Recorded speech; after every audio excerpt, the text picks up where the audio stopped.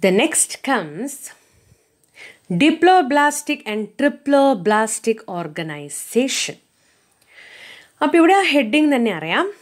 That is di means two and tri means three and blastic comes from the word blastula that is the embryonic stage the embryonic stage in which the cells are arranged into the germ layers, embryonic layers. അതാണ് blastula നമുക്ക് plus ടുവിൽ പഠിക്കാനുണ്ട്. അതായത് embryo stage അല്ലെങ്കിൽ fetal സ്റ്റേജിൽ the zygote develops into three stages that is morula blastula and gastrula morula ഒരു cellular സ്റ്റേജാണ് a group of cells, a ball of cells. But blastula,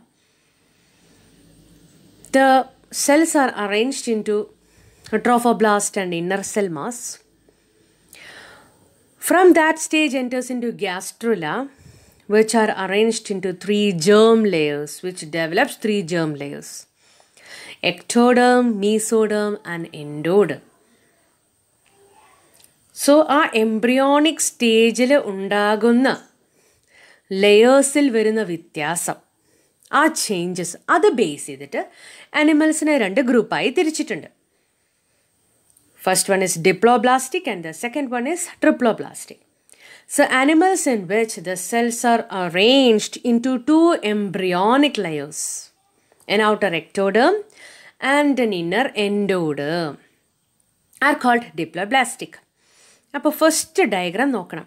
first ഡയഗ്രത്തിൽ ഏറ്റവും സെന്ററിൽ ഒരു വൈറ്റ് ഹോൾ ഉണ്ട് ദറ്റ് ഇസ് കോൾഡ് ലൂമൻ ലൂമന്റെ ചുറ്റും ഉള്ള ലെയറാണ് the innermost layer called endoderm ഏറ്റവും അകത്ത് കാണുന്ന പാളി.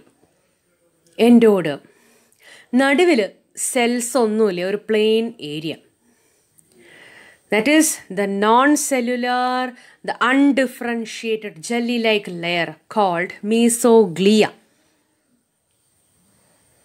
എക്ടോഡേമിൻ്റെയും എൻഡോഡേമിൻ്റെയും ഇടയിൽ കാണുന്ന area that is an undifferentiated non cellular layer found in between the ectoderm and endoderm it is called mesoglea Then comes the outermost cellular layer called ectoderm. The outermost layer, ectoderm.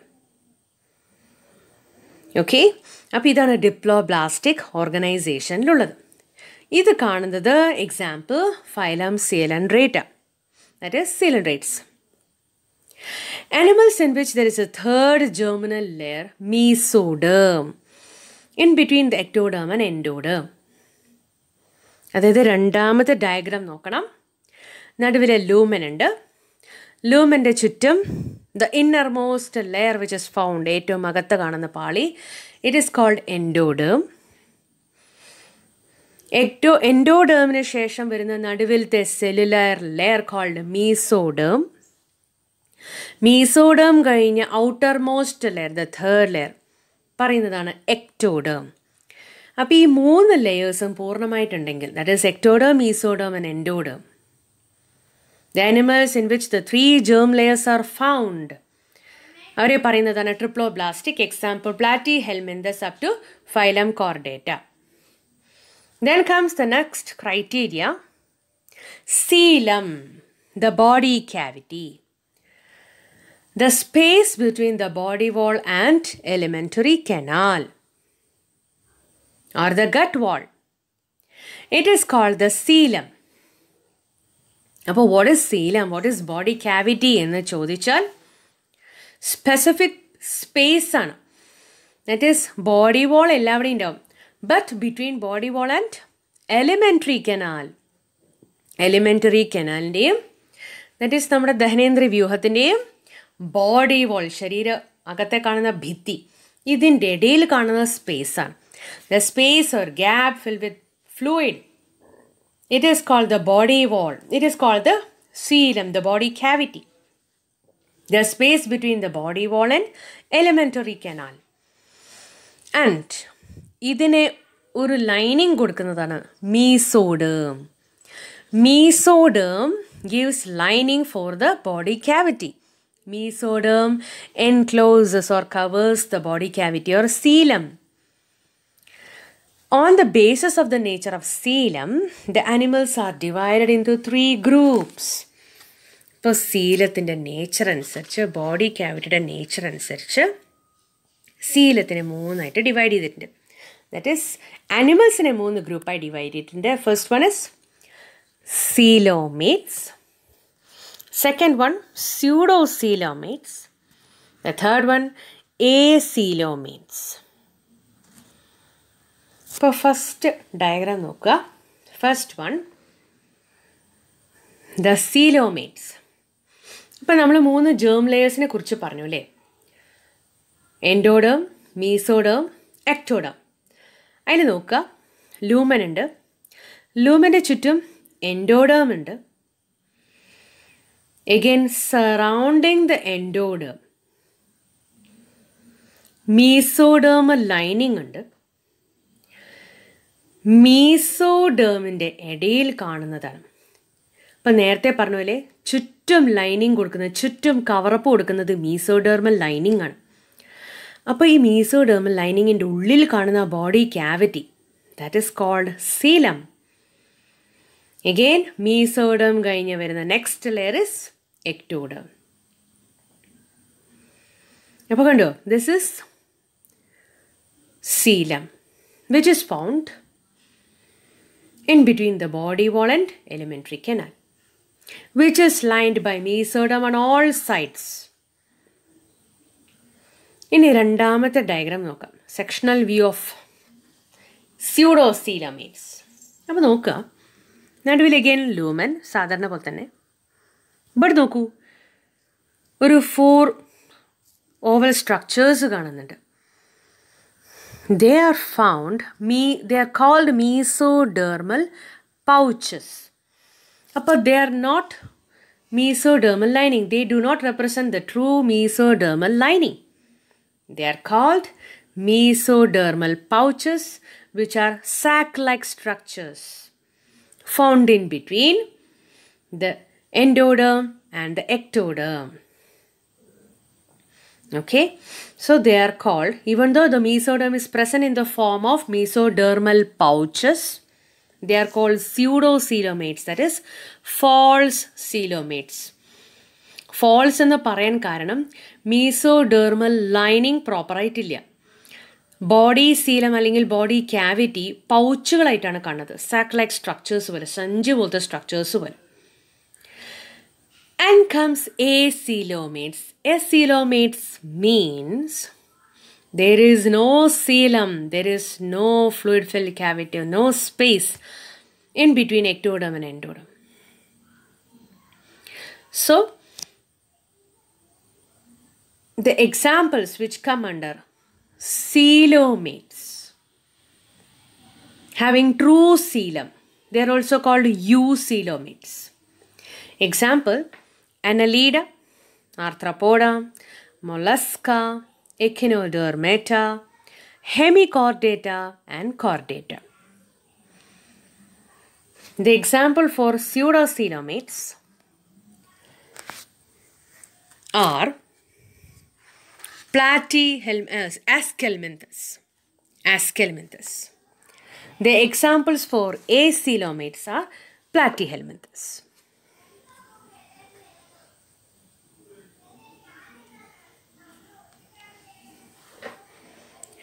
So the examples for pseudocoelomates are Aschelminthus and the examples for acoelomates are Platyhelminthus. Then comes segmentation. In some animals, the body is externally and internally divided into segments. അതായത് ബോഡിയുടെ അകത്തും പുറത്തും നമുക്ക് line ഇട്ട പോലെ നമുക്ക് കാണാം.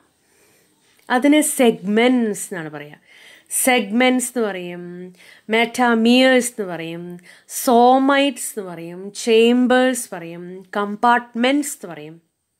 അങ്ങനെ കുറേ ടേംസ് ഉണ്ട്. അപ്പോൾ ഈ ലൈൻ ലൈൻ സ്ട്രക്ചേഴ്സ് അല്ലെങ്കിൽ ഈ സെഗ്മെന്റ്സ് പുറത്ത് മാത്രമല്ല ശരീരത്തിന്റെ അകത്തമുണ്ടെങ്കിൽ also with serial or linear repetition of at least some organs ചില ഓർഗൻസ് അല്ലെങ്കിലും അല്ലെങ്കിൽ റിപ്പീറ്റ് ചെയ്ത് കാണണം.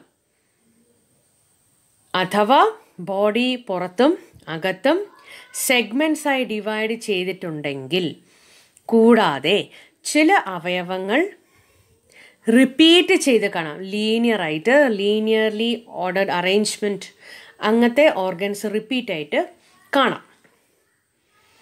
ഇങ്ങനത്തെ ഒരു പാറ്റേണിനെ പറയുന്നതാണ് സെഗ്മെന്റേഷൻ മെറ്റാമറിക് സെഗ്മെന്റേഷൻ ഈ ഒരു ഫിനോമിനൻ അല്ലെങ്കിൽ ഈ ഒരു പ്രിൻസിപ്പിൾ കാണുന്നതിന് പറയുന്നതാണ് metamerism example annelida under which comes earthworm and leeches അപ്പോൾ ഇത് ബേസ് ചെയ്ത് ക്വസ്റ്റ്യൻ ചോദിക്കാറുള്ളത് ദറ്റ് ഈസ്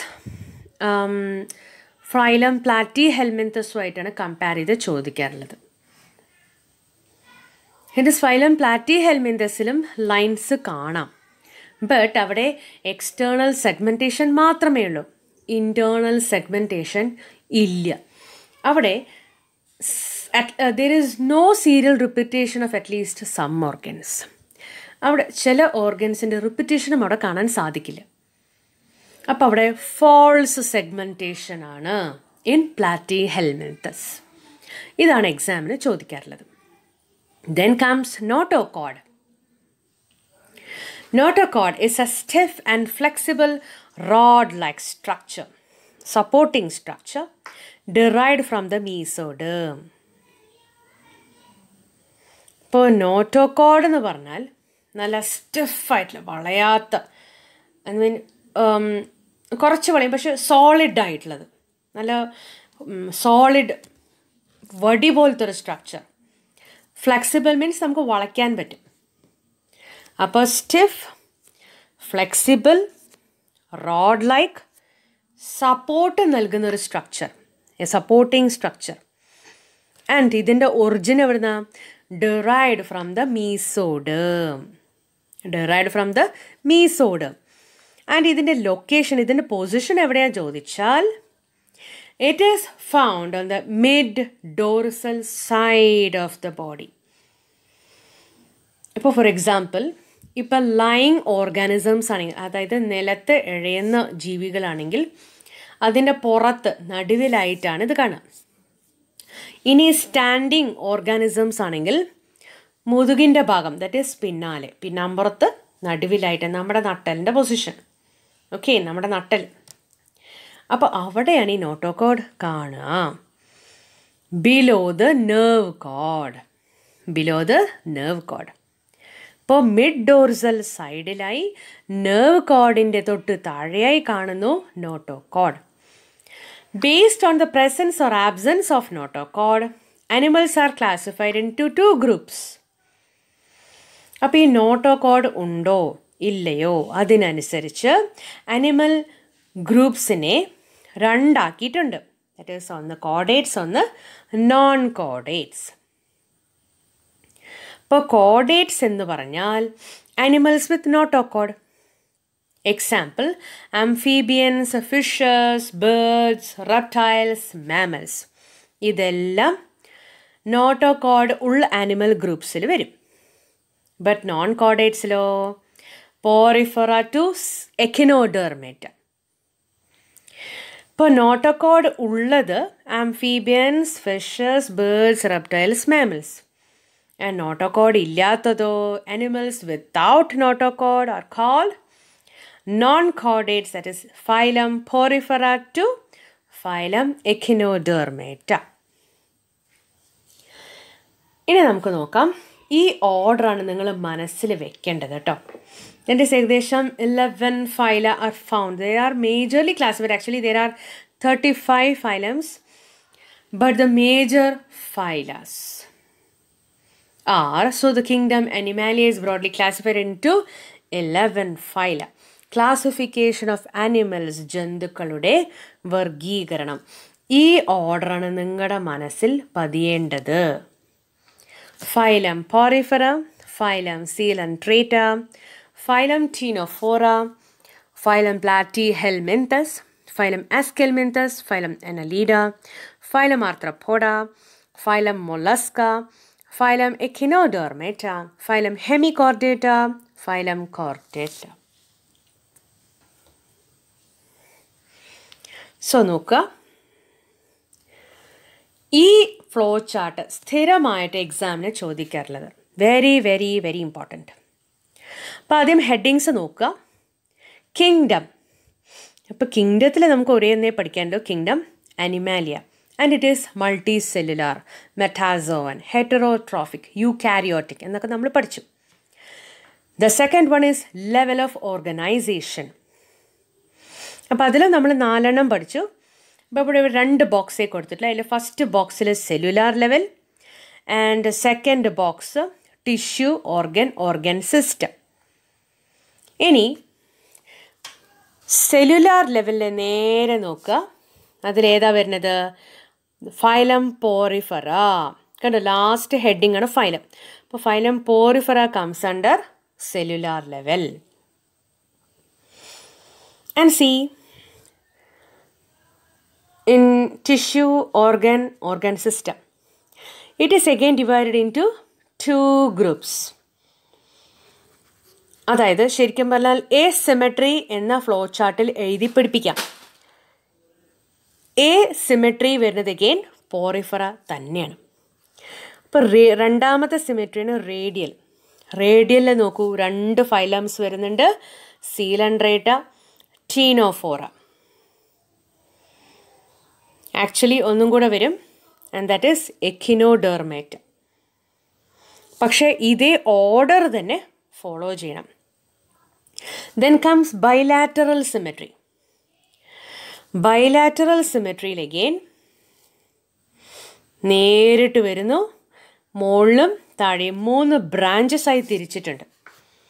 ഒന്ന് എ സീലോമേറ്റ്സ് അത് വരുന്നത് heading body cavity and coelom ആ ഹെഡിങ്ങിന്റെ ചുവട്ടിലാണ് ഈ മൂന്നെണ്ണം വരുന്നത്. ഒന്ന് എ സീലോമേറ്റ്സ് ഒന്ന് സ്യൂഡോ സീലോമേറ്റ്സ് ഒന്ന് സീലോമേറ്റ്സ് എ സീലോമേറ്റ്സിൽ വരുന്ന എക്സാമ്പിൾ പ്ലാറ്റി ഹെൽമെന്തസ് സ്യൂഡോ സീലോമേറ്റ്സിൽ വരുന്നു ആസ്കെൽമെൻതസ് ആൻഡ് സീലോമേറ്റ്സിൽ വരുന്നു Annelida Arthropoda Mollusca Echinodermata Hemichordata and Chordata അപ്പോൾ എക്കിനോഡെർമേറ്റയിൽ ഒരു സ്റ്റാർ കാണാം.